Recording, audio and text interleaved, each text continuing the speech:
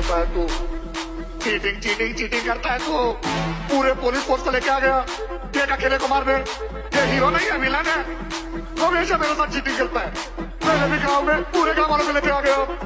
और आज मेरा घर में पूरे पुलिस फोर्स को लेके आ गया। बेचारा सो रहा था मैं।